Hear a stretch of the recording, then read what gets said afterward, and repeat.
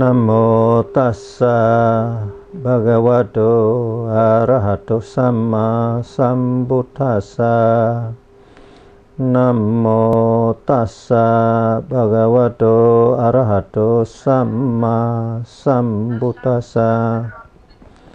Namo tassa bhagavato arahato sama sambuddhassa.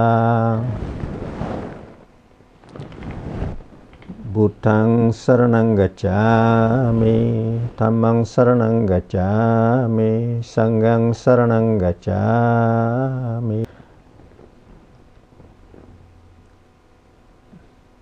Today we are going to study the uh, a topic.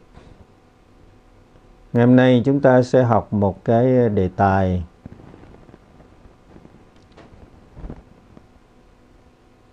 Love drive you into the samsara forever. Tiếng Việt Nam á, dịch là như thế này. Yêu nhau muốn dạo vạn vòng tử sinh một không đủ vô vô lượng kiếp hãy yêu nhau thì vô vô lượng kiếp vạn vòng tử sinh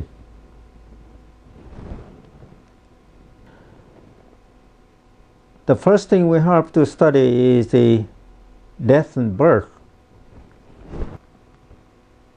Ngày hôm nay eh, chúng ta muốn học cái đó thì chúng ta phải học cho biết là sanh tử là cái gì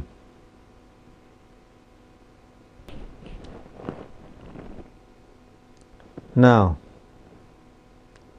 death and birth when you are born you're subject to death. Nobody escape it. Khi các bạn được sinh ra, thì các bạn sẽ sẽ chết. Không có cách gì mà nó tránh khỏi hết á. There's no way.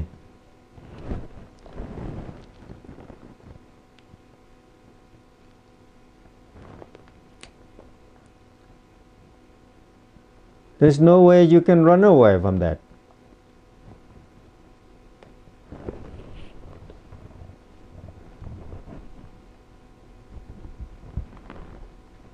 There's no way you can run away from the death and birth cycle. If you are born, you're subject to death. Không có cách nào mà các bạn trốn ra khỏi cái sinh và tử. If you're born, immediately you're subject to death. There's no other ways. You cannot run away from the death. It's inevitable death. And you don't know when you die. Khi các bạn sinh ra thì các bạn đã chịu cái sự chết trước mặt này, Không biết lúc nào mình chết. And you don't know where you die. Và các bạn cũng không biết mình chết ở đâu. Không biết mình chết lúc nào. Không biết mình chết ở đâu. And between the birth and death there are many suffering. There's much suffering suffering suffering anything dukkha dukkha dukkha hot cold hungry everything just suffering. Losing, winning, even winning. Because you never be satisfied with what you have, what you get. You always subject to suffering. So between the birth and death, there have been much suffering, suffering. Và khi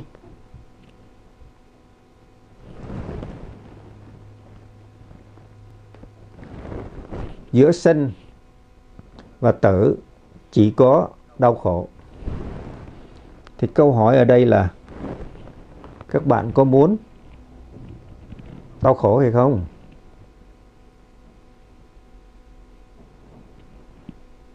You want to enjoy the suffering when we are alive. Các bạn có muốn mình đau khổ, thưởng thức cái sự đau khổ đó trong cái cõi đời ngắn ngủi hay không? Very short time. Only breathing out without breathing in. You finish. Khi mà các bạn thở ra, mà không có thở vào, thì coi như là chấm dứt phải không các bạn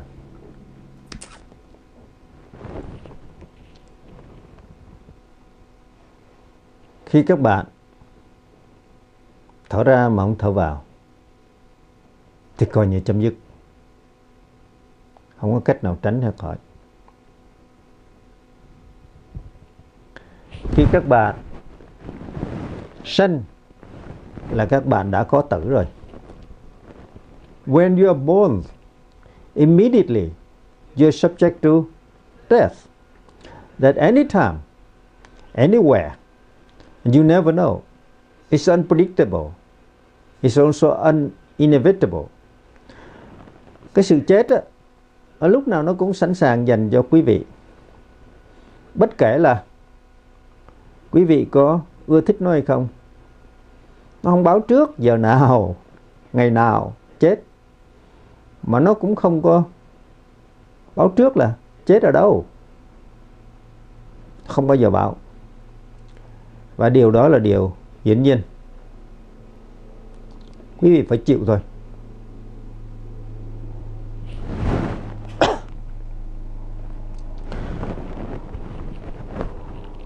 But the Buddha teaching is uh, supreme. It's higher than just the death and birth. Nhưng mà lời dạy của Đức Phật á, thì nó không phải là chỉ nói về cái sanh hay tử. Of course when you are born you are subject to death. Ngay khi các bạn sinh ra là chúng ta nè, ai cũng đều phải chết hết. Chẳng có ai tránh khỏi. Không ai tránh khỏi hết. Chết nó sẵn dành nữa mà. Không biết chết lúc nào. Chết ở đâu. Và chúng ta phải chịu vậy thôi. Không có né tránh được. Không phản kháng được. Không làm gì nó được hết đấy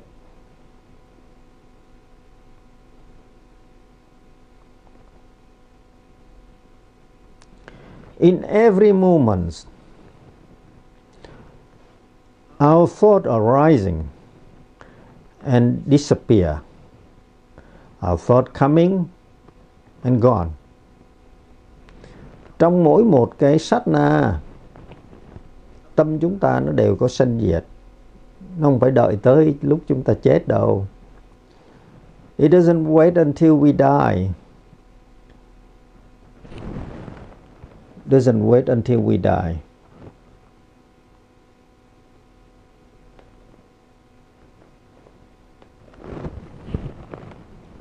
Because in every moment, our thought changing, our mind changing, change from the appearing, arising, and falling and disappearing. It's always, it's always coming So we're coming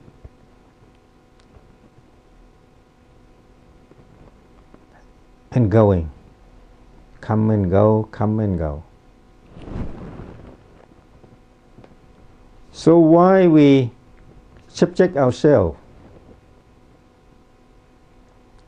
So why we subject ourselves to death and birth? Tại sao mà chúng ta biết có sanh là có tử mà tại sao chúng ta lại bị dính vào trong cái sanh tử này why subject ourselves to death and birth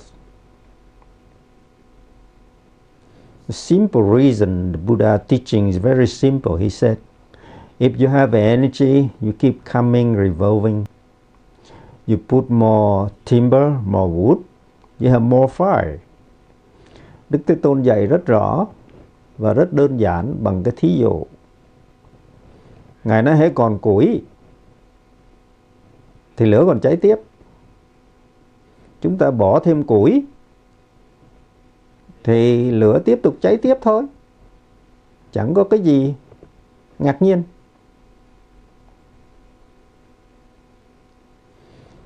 There's no magic about the formula. When you put more energy, of course you're driving yourself to the next life. When the Buddha was enlightened, the first time he saw everything. He saw the past, the future. He saw one, the whole universe. And what he said, because you people have a desire, desire to stay in a cycle of death and birth. Đức Phật sau khi Ngài chứng đắc, Ngài tuyên bố là củi hết lửa tắt. Và Ngài cũng khám phá ra rằng tất cả mọi chúng sanh đều ưa thích ở trong cái vòng sanh tử đó, ưa thích. Everybody love to be born and enjoy it. Mọi người đều ưa thích sanh ra rồi tái sanh. Ưa thích lắm. Cho nên nó tiếp tục nó còn sanh tử thôi. Because you love it, you love to be born. Therefore, you are born. Bởi vì các bạn ưa thích. Bởi vì các bạn ưa thích. Ưa thích cái gì? Ưa thích tái sanh. Cho nên mình tiếp tục tái sanh.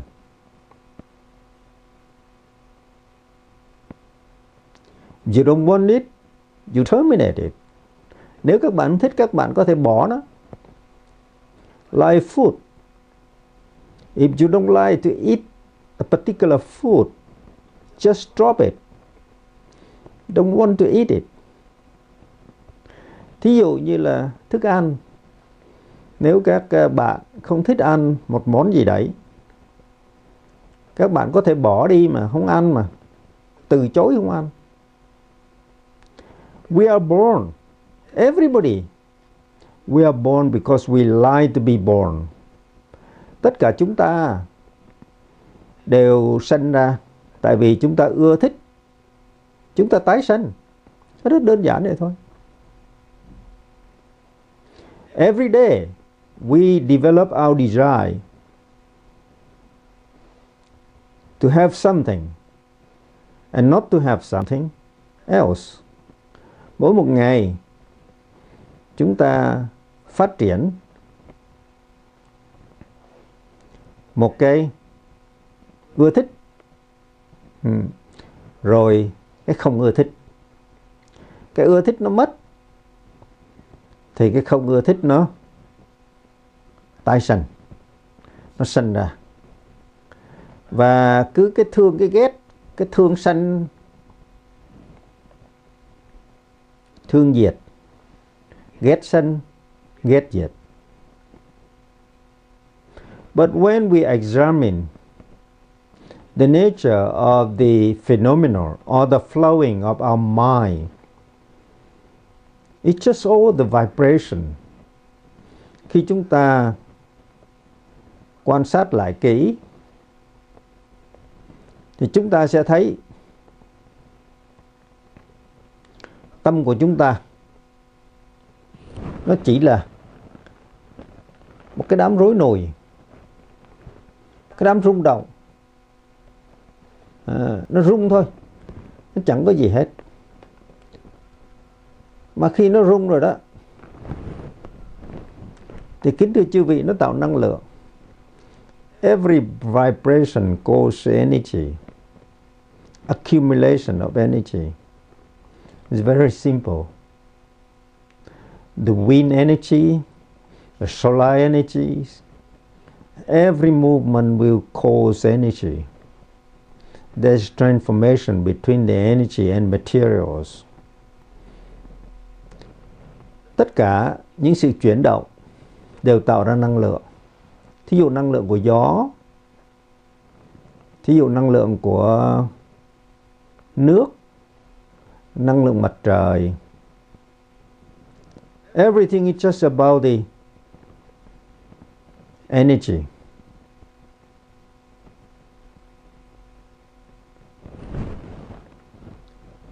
And the vibration causes energy. Very simple.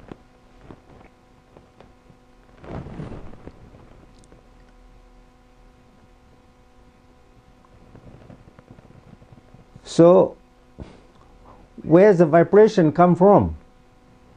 Vibration, of course, came from eyes, ears, nose. Every day you open your eye, you see something, and you develop the some kind of the liking or disliking. You react to the vibration. And as soon as you react to vibration, you establish your identity. hàng ngày á, các bạn đều chịu những sự rung động từ bên ngoài thông qua mắt tai mũi rồi khởi lên cái sự ưa thích. Và tất cả những cái sự ưa thích ấy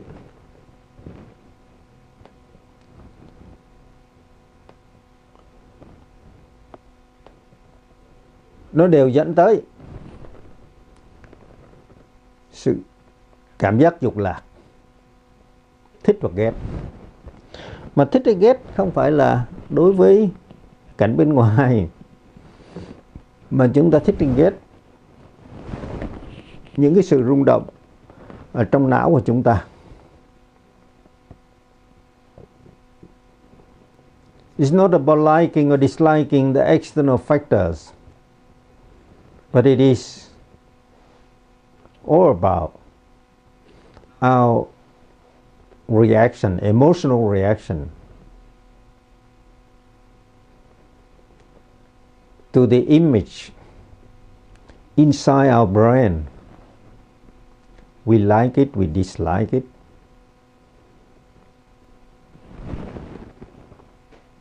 It's just something happen and we get upset. Upset is one kind of the vibration. Happy is one another kind of vibration, just different names. It's all vibration. You label it, you name it. Because every day, your eyes, your ears, your nose come into contact with external environment.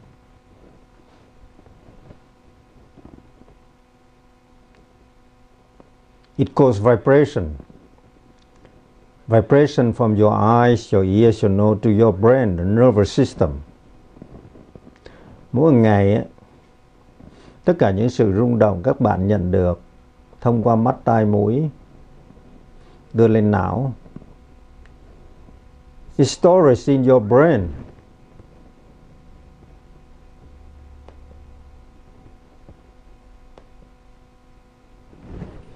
Stores in your brain.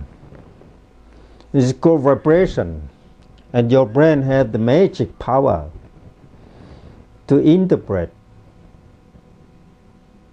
and give the name for each kind of vibration. Các cái loại rung động đó, nó trữ ở trong não kính thưa chư vị. Và cuối cùng á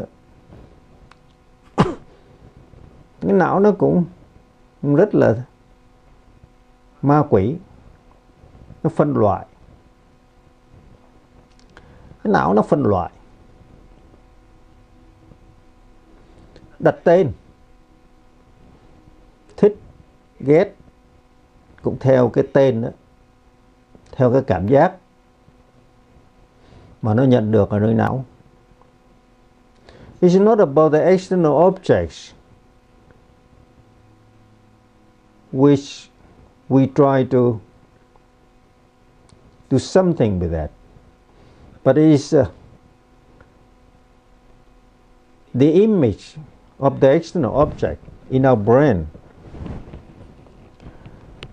Thực sự ra, tất cả những phản ứng của chúng ta không phải là phản ứng đối với cái vật bên ngoài chúng ta không có phản ứng đối với cái vật bên ngoài mà chúng ta phản ứng đối với cái vật cái hình ảnh của cái vật đấy ở trong cái não chúng ta hmm. I give you one example. Somebody swearing at you. Sư cho một cái thí dụ có một người nào đó. Họ mắng chửi quý vị một câu gì đấy. You feel upset. You feel terrible. You don't like it. Khi có người nào mắng chửi thì các bạn sẽ không thích. Và các bạn buồn. And if that person gone. You still get upset for two, three days. Khi cái người đi rồi, các bạn vẫn buồn. Hai ba ngày why? Because you are reacting to the emotional recognition in your nervous system. Tại vì eh, khi người ta đi rồi mà các bạn vẫn buồn. Hai, ba ngày sau. Điều đó có nghĩa là các một cách xúc cảm. Những cái xảy ra ở trong não của quý chúng ta. Chúng ta buồn tại vì chúng ta còn cái hình ảnh này trong não. Nó khó chịu. This cause dukkha dukkha. Dukkha is dissatisfaction. Dukkha is not about the suffering suffering mental suffering or physical suffering it's just we neutral a habit of failing to recognize the external object and the image of the external object in our brain. Chúng ta có một cái thói quen và chúng ta tập tành à, nhận cái sự việc bên ngoài làm cái đối tượng ở trong tâm. Cho nên chúng ta đau khổ hoài. Người ta mắng chửi một câu, người ta bỏ đi rồi. Ba ngày sau mình vẫn buồn. Thế thì cái buồn á, là mình buồn cái nội tâm, buồn cái hình ảnh, cái âm thanh nó còn trữ lại. Sự rung động ấy nó còn. Cho nên buồn. Chứ còn cái người nói họ đi mất tiêu rồi. Penalize ourselves by subject ourselves to the suffering caused by our brain, chúng ta tự làm khổ chúng ta. Vì chúng ta phản ứng lại những cái sự rung động từ bên ngoài thông qua mắt, tai, mũi, lưỡi. Thân. Therefore, love. When i say love i mean, two sides of the coins. Cho nên khi sư nói cái chữ yêu á, sư nói hai mặt của đồng tiền, love and hate, thương và ghét. It's not just loving, it's also hate. You hate somebody, you develop the same vibration. Khi các bạn ghét ai, thì các bạn cũng tạo nên một cái nghiệp, một cái sự rung động sự không ưa thích ở trong cái não. That's called suffering, that's called dukkha. Và cái tình trạng phản ứng lại, cái trạng thái thích hoặc không thích, ghét, tất cả những những cái nó tạo nên cái thương hay ghét. Mình đặt tên nó thôi. We react emotionally chúng ta phản ứng những sự xúc cảm ấy and now we learn we know Everything came through our eyes, our ears, our nose. So the Buddha teaching is very precise and very simple. Bởi vì chúng ta biết tất cả những sự rung động ấy, thương ghét, nó đều đi qua mắt tai mũi lưỡi, nó không phải tự nhiên nó vào được trong cái não chúng ta. Nó thông qua mắt tai mũi lưỡi thân. Đức Phật dạy rất là đơn giản. Ngài nói nó đi qua mắt tai mũi lưỡi thân thôi. Và đó là chỉ là những sự rung động. You think that somebody is reside in your brain? Các bạn nghĩ rằng cái hình ảnh của cái người mà các bạn ghét đó, nó nằm ở trong đầu các bạn à? No. It's just vibration. It causing the vibration from your eyes, your ear, your nose. You hear something and the noise called vibration, audio vibration. And through our nervous system it go to our brain.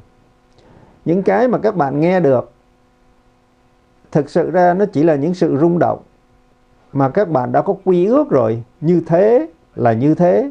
Mình đã đặt tên, mình đã được nuôi dưỡng từ nhỏ tới lớn. Cho nên nó đưa vào trong cái não. Rồi á cũng chính mình mình phân tích mình thương mình ghét It all depend on your education, your family upbringing, your living circumstances, your environmental living, your friend You develop a paradigms. Chỉ vì hàng ngày các bạn sống trong cái môi trường á, có cha mẹ nuôi dưỡng từ lớn từ nhỏ tới lớn. Biết bao nhiêu thứ đó thông tin đó, nó nhồi nắn để các bạn trở thành ra một cái sản phẩm. Everything's constituted in your unique body entity, unique entity và những cái đó nó làm cho bạn trở thành đặc thù không có giống ai hết á There's only one you in the seven billions people in, on this planet. Chỉ có một mình bạn thôi ở trên cái 7 tỷ người trên trái đất này. There's no second similar. Không có cái người nào giống bạn đâu. Why? Because we react to the external environment. We learn. We absorb information we adapt our attitude accordingly. We build up for ourselves the entity, and we love that entity. Và chúng ta, qua những cái đời sống hàng ngày từ nhỏ tới lớn, xây dựng cho chúng ta một cái cá tính đặc biệt. Và chúng ta ưa thích như vậy. If somebody have something not in agreement with our perception or our paradigm, we get upset. Nếu chúng ta có những người bạn mà những người đó nó không giống chúng ta, không suy nghĩ giống chúng ta hay là không làm giống chúng ta, chúng ta cảm thấy buồn, bực bội. As soon as you react emotionally to the vibration, we actually establish tanga, which is craving, loving, loving ourselves, loving our existence, loving the self. Ngay khi chúng ta phản ứng lại những cái chúng ta nhận biết được thông qua mắt tai mũi lưỡi, chúng ta phản ứng một sự xúc cảm đó thì chúng ta đã xác minh sự hiện hữu của chúng ta. Và cái sự hiện hữu đó có nghĩa là có tôi đây có ta đây có cái của ta đây. Và phải yêu nó. Nếu mà ai mà đụng tới thì không được đâu ai làm cho ta buồn. Qua mắt tai mũi lưỡi, ta không vừa ý là ta buồn. You penalize yourself. Và như vậy, các bạn tự hành hạ mình. You penalize very simple. Because you hate that person, or you like that person, in both extremes, scenario you establish your identity, your existence and if you establish your existence, you are subject to cycle of death and birth, because you are in existence khi các bạn có sự xúc cảm phản ứng tới những cái thương và ghét là các bạn đã xác minh thực hiện sự hiện hữu của mình. As soon as you establish your identity, your existence, you're subject to the cycle of death and birth. The Buddha make it very clear in the 12 interdependent origination. Đức Phật nói rất rõ ở trong cái thập nhị nhân duyên đó khi có hữu tức là sanh thì có tử sanh tử ưu bi khổ não là có thôi mà muốn có thì phải có hữu tức là phải có sự hiện hữu của của ta there must be existence of the identity so that you can die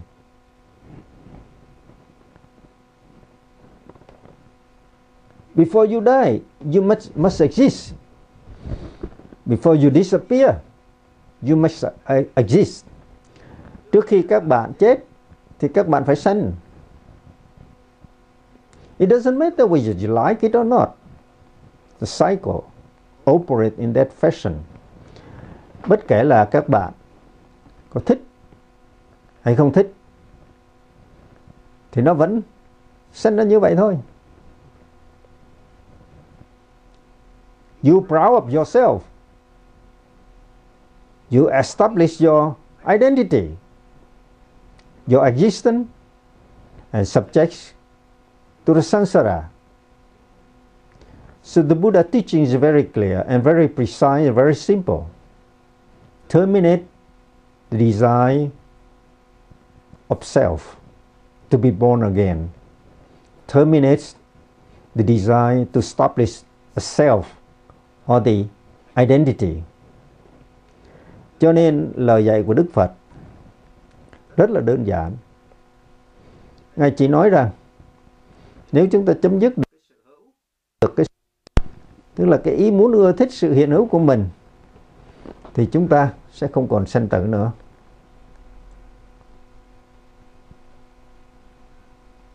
But we like it. We enjoy it every day nhưng khó lắm, thưa chư vị chúng ta ưa thích nó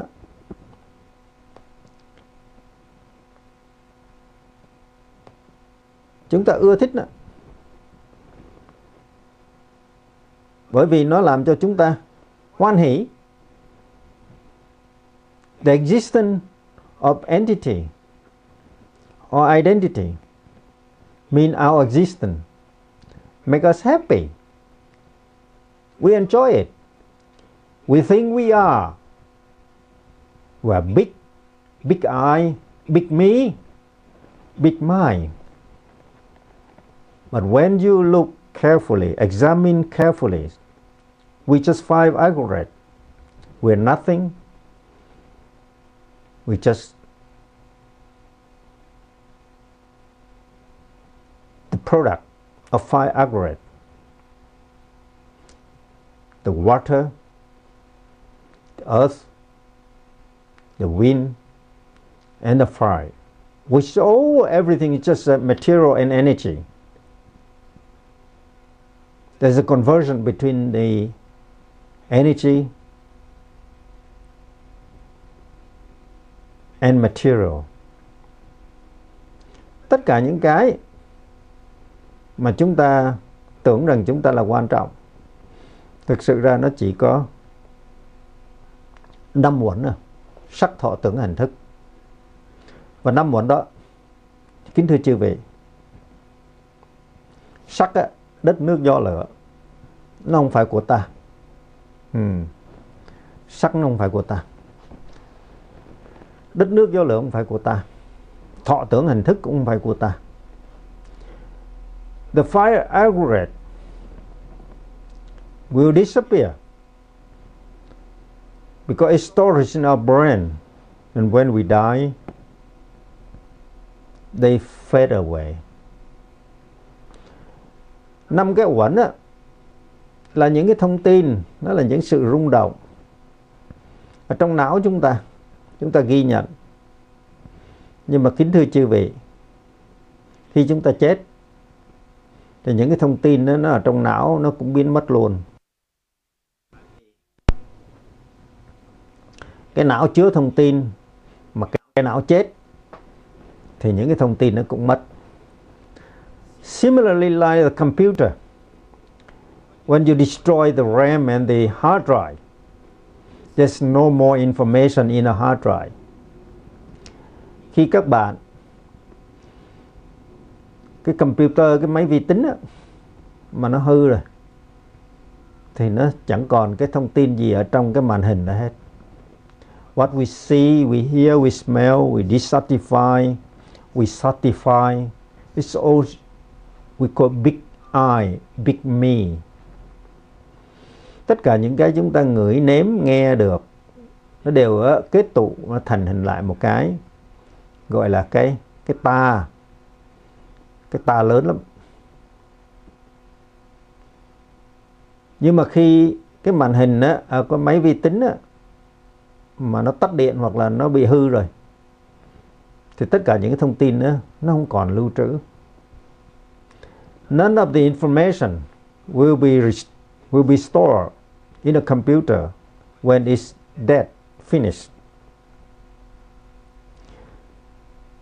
So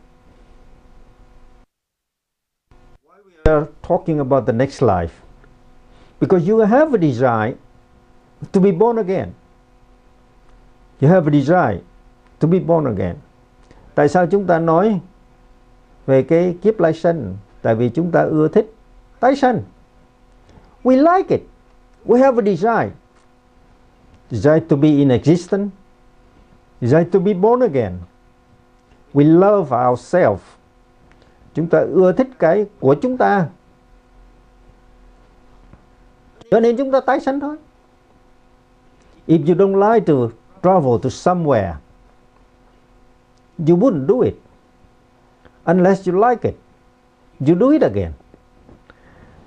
Các bạn không đi cái du lịch tới cái nơi mà các bạn không thích. Nếu các bạn không thích các bạn không đi. Thích đi nữa. Likewise, because we love we love the vibration. Love, we love the energy causing vibration and it make our body function. And we love our body, we love vibration, we create energy, movement through eyes, ears, nose, tongues, and we establish the self, which is the identity, and that self will be reborn in the next life.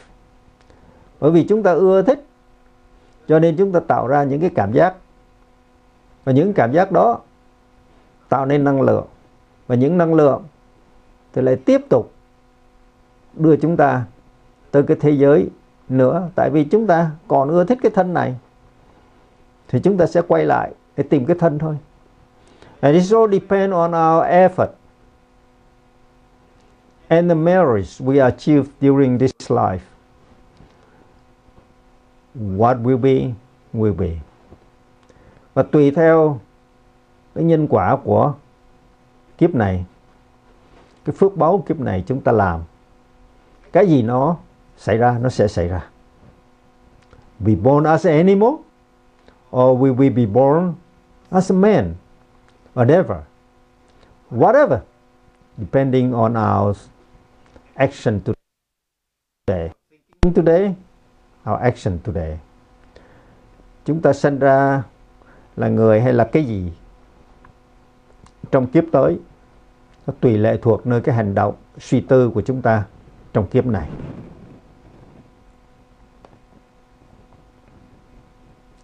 Rất đơn giản vậy thôi quý vị. Nó không có cái gì lạ hết.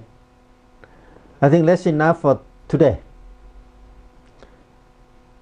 Loving is an emotional reaction.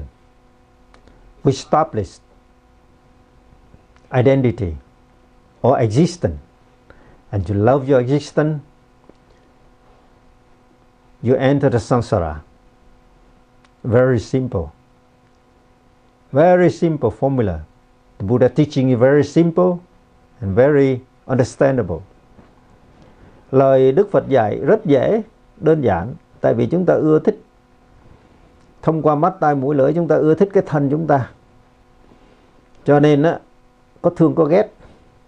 Và hễ có ưa thích thương ghét, tức là ưa thích cái năng lượng, cái sự dao động, thì chúng ta tiếp tục tái sanh thôi. Nó rất đơn giản lắm quý vị. Nó không có cái gì khó khăn hết đó. Đức Phật dạy rất là đơn giản và rất là dễ hiểu. Chỉ có điều chúng ta cố ý không muốn hiểu, hay là cố ý đóng mắt tai mũi lại, vì chúng ta ưa thích cái ta ta ưa thích cái cảm giác ta đây ta hiện hữu. We love the ideas of entity. We love the idea of existence. I am here. I exist. That's me. Nobody else. I am I am very important because I exist. I love myself. And if I love myself my identity I accumulate the merit so that the next life I will be reborn again. Is it the purpose of Buddhist practice? Đó có phải là mục đích của người tu Phật không? Is it your purpose to be a monk, a nun, a Buddhist meditator or follower? You follow Buddhas because Buddha give you something or you follow Buddha because Buddha teachings showing you the way to terminate the cycle of death and birth. Có phải mục đích của Đức Phật khi các bạn đến với Đạo Phật là để được xin cái này xin cái kia, được Phật cho cái này cái kia. Hay là vì Phật chỉ đường cho các bạn, cho chúng ta có thể phá vỡ được cái vòng sinh tử, không còn sinh tử nữa. As soon as you establish yourself, you love yourself, the identity, the existence, you're subject to samsara, death birth, and you're subject to suffering again and again for many lives. I hope you understand it.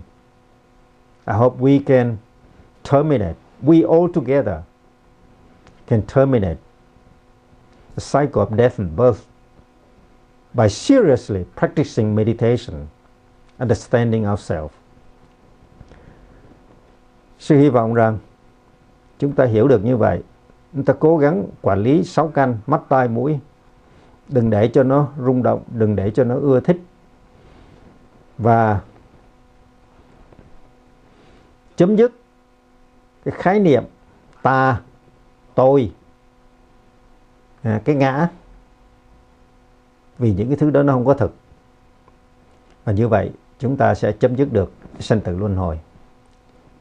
Cảm ơn tất cả các bạn. Suy nghĩ nhìn cũng đủ rồi. Giờ chúng ta nên à, hồi hướng. I think it's time to finish my talk.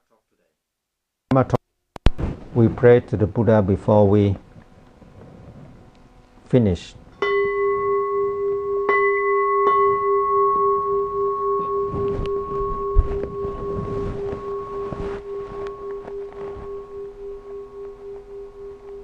부탕 부제미 담망 부제미 쌍강 부제미